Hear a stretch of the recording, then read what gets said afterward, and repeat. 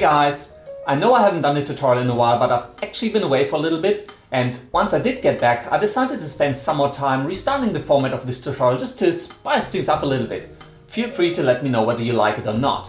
Now, in the spirit of coming back with a bang,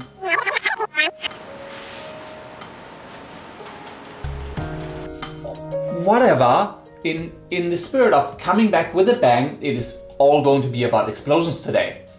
Have you ever gone to the movies to watch a cheap action flick just to find out there were no explosions in it? It's like going to the aquarium and there's no fish in it. Everyone loves explosions. Unfortunately on YouTube, most of the explosions look like this.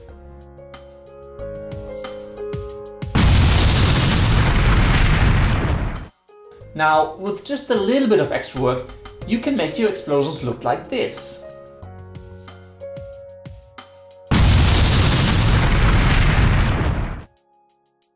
In this tutorial I'm going to show you how you can create great looking explosions in Adobe After Effects with nothing more than some basic stock footage.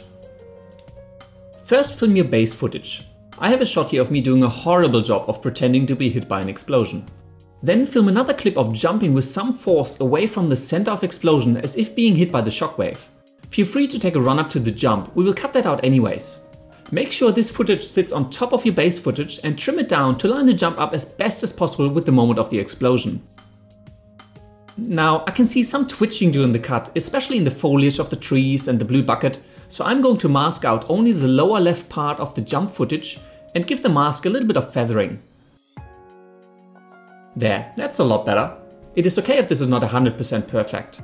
One trick to add realism to your explosion is to add a few elements into your shot that will appear to be flung away by the shockwave. For this, I deliberately placed a few wood pieces, some boxes and a bucket in the scene. I then filmed myself flinging these elements out of the way one by one with some fishing line. Make sure that all of these clips sit on top of your base and jump footage and mask the elements out individually. Animate the mask path property to make the mask follow the object precisely when it is being flung around. It does pay off to spend a bit of time on this and do it cleanly. These little things will add greatly to the final effect.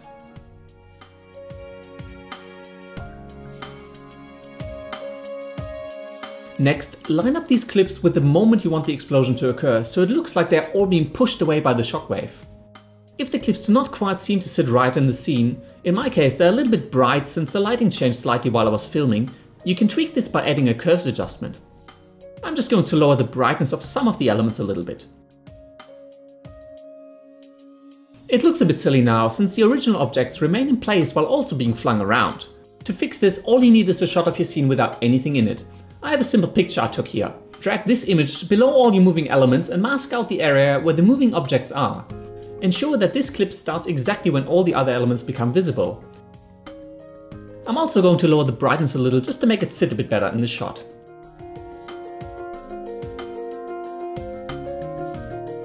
Actually looks quite good. Pre-compose all layers by selecting them all and then going to Layer, Pre-compose. Call this new composition Base Footage Comp, select to move all attributes into the new composition and hit OK. Now it's finally time to add the explosion. For this, I'm using stock footage from the Action Essentials 2 package by Video Copilot, but you can find free clips online and I've put a link into the description of this video, so make sure to check that out. Drag your stock footage into the composition and make sure the explosion occurs at the correct time at the correct position. I usually like to trim out the first few frames of these clips just to have the explosion appear a little bit more instantaneously with a little bit more power. Next, mask out any elements that would be in front of your explosion. I'm lowering the opacity for the explosion layer temporarily just so I can see what's underneath it. Then I'm going to mask out the tree trunk and a bit of the lower part of the explosion just to make it look like it's actually sitting on the ground. Remember to switch your mask to subtractive to remove these elements from your layer and then add a little bit of feathering. Next, add a glow effect to your explosion. I like to increase the glow radius to around 200 and I will also add a hue saturation effect just to bring the saturation of the whole thing down a little bit. I want the stock footage to fit as best as possible into the scene. With that done, select all your layers and pre-compose them. I'm going to call this comp Explosion Base Comp, then hit OK. Next, add lighting to your explosion. I'm not going to cover this in too much detail here. If you do not know how to do this, go and watch my muzzle flash tutorial which explains this in great detail. Just make sure that the intensity of the lighting suits the intensity of your explosion. To give our explosion a bit more power, we are going to add a shockwave effect. Create a new adjustment layer by selecting Layer, New, Adjustment Layer. Any effects that you apply to an adjustment layer will apply to all of the layers beneath it. Rename the layer to Shockwave and add a bulge effect. Move the bulge center to the center of your explosion. Bring up your horizontal and vertical bulge radius to as far as you want your shockwave to reach. We're now going to create a track matte for our adjustment layer. Go to Layer, New, Solid. Ensure the color is set to black and give your solid a useful name. I will call mine Shockwave Matte. This new solid needs to sit directly above our adjustment layer. Add an iris wipe to the new solid. Increase the iris points to the maximum, move the iris center to the center of the explosion and increase the feathering to around 200. We're now going to add a wide rim to the opening of the iris. This wide rim will define the area where the bulge effect of the adjustment layer and thus our shockwave will be visible. Add a colorama effect to the solid. Set the input to alpha and the output to gray ramp. Adjust the color to be a white ring by dragging the white marker to the bottom of the color wheel. Finally, to get rid of the hole in the middle of the iris, enable the option Change Empty Pixels. Now we need to animate this ring, which represents our shockwave.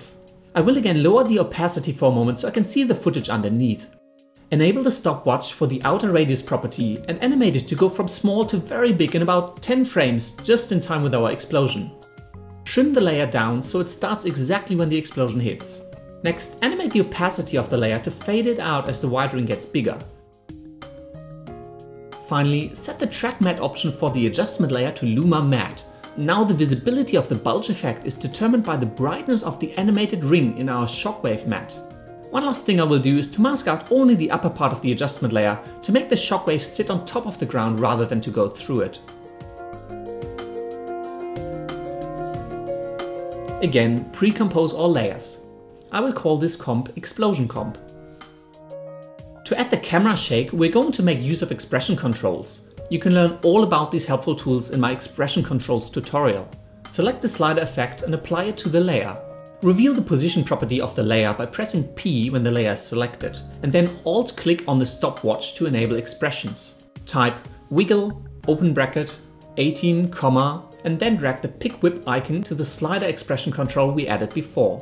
This will insert the value of the slider into the expression. Now type close brackets, semicolon and click outside of the expression editor. This expression says to randomly alter the position of our layer 18 times a second by the amount specified by the slider. Now we can animate our slider from 0 to 50 when the explosion hits and then back to 0 within about 15 frames. This will cause the footage to shake violently when the explosion hits and then slowly subside. To get rid of the black borders around the footage, simply increase the scale a little bit. I'm going to set it to about 110%. And once you've done that, your explosion is complete. Hope you enjoyed watching this tutorial and feel free to leave any comments, questions or suggestions in the section below. Until next time, I will see you later. Hmm? Oh shit.